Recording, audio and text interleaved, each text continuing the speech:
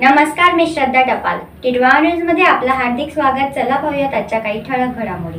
कल्याण डोंबिवली महापालिका आयुक्तांनी दिली कल्याण डोंबिवलीमधील शेडला भेट. अनुपस्थित कामचुकार कर्मचाऱ्यांवर कारवाई करण्याचे दिले निर्देश.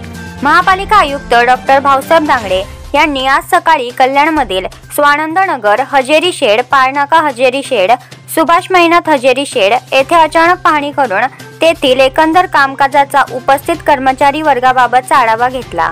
व अनुपस्थित आणि कामात हलगर्जी करणाऱ्या कर्मचाऱ्यांवर कारवाई करण्याचे निर्देश परिमंडळ एकचे उपायुक्त धैर्यशील जाधव यांना दिले. याचवेळी त्यांनी परिवहन गणेश घाटला भेट देऊन तेथील बसेसची पाहणी देखील केली. कल्याण पश्चिम येथील शिंदेमळा परिसर आणि सुभाष मैदान हजेरी शेडच्या आजूबाजूला असलेली अस्वच्छता पाहून त्यांनी तीव्र नाराजी व्यक्त केली आणि सर्व परिसरात स्वच्छता राखण्याबाबत संबंधित अधिकाऱ्यांना निर्देश दिले. तर या होत्या आजच्या काही ठळक घडामोडी. उद्या पुन्हा भेटू याच ठिकाणी. धन्यवाद.